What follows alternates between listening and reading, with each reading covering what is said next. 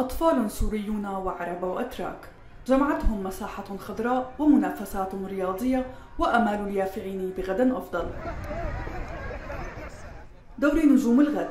بطولة رياضية نظمها في إسطنبول المنتدى السوري بالتعاون مع بلدية بايرن باشا بهدف خلق فرص لتبادل الخبرات والتعاون بين الفتية العربي والأتراك. تطورت هذه الفكرة من أربع سنوات لدى بداية أكاديمية نجوم الغد الذي أسسها المنتدى السوري في إسطنبول لعمل دوري يجمع بين الطلاب السوريين في مختلف مدارس إسطنبول والفرق المختلفة التي تدرب الشباب اليافع. وتطورت هذا العام بأنه جاءت بأيضا مدارس تركية ومدارس دولية أخرى لمزيد من التآخي والتواصل والمحبة بين هذه المدارس. الهدف من هذا الدوري هو جمع السوريين هواة كرة القدم واللاعبين الناشئين والفتية في أرض هذا الملعب وإقامة دوري بين الفرق لتكسب إحدى الفرق كما يتم في المباريات الرياضية بنفس السيستم الذي تقام به المباريات الاحترافية. لا تتوقف طموحات المنظمين على الاختلاط بين المشتركين بل يسعون إلى دمج التربية بالرياضة. وإعادة الحافز لبعض الفتية السوريين بعد انقطاعهم عنه لسنوات. غير الفرق المدرسية في فرق المتسربين من المدارس.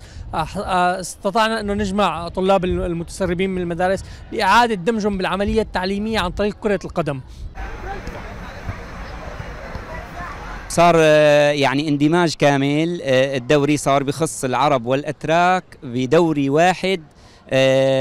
بيقوم لمدة شهر وعشرة أيام متواصل يوميا بحيث شارك 20 مدرسة في منها مدارس عربية في منها دولية في منها مدارس تركية وبالإضافة للسوريين اللي هن موجودين بالمدارس كلها هي بشكل عام.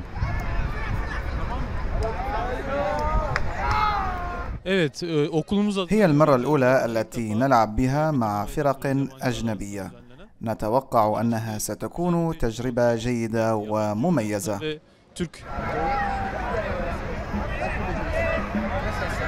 هاي السنة الثالثة بشارك فيها. قبل بسنة طلعنا بالنهائي والسنة الماضية أخذناها الحمد لله رب العالمين. وهاي السنة إن شاء الله محضرين كثير منيح وإن شاء الله نقدر ناخذها لأن في فرق قوية هاي السنة. بادرة كويسة يعني من المسؤولين هون باسطنبول؟ ان يجمعوا هاللاعبين هدول السوريين وبعض الفرق العربية يعني حتى العراقيين من الجزائريين. فهي بادرة كويسة جدا جدا. Bayrampaşa olarak biz zaten Suriyeli kardeşlerimizle birlikteyiz.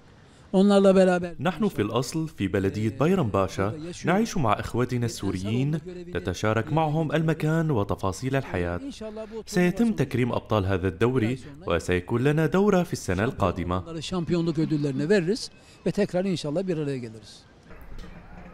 بين الاندماج وكسر العزلة والانهماك بخلق مسارات وحلول للحياة في بلاد اللجوء يبقى الطوق السوري إلى الآخر. وتبعا لخبراء اجتماعيين جزءا من حقيقة الهوية السورية الجديدة المنفتحة على العالم.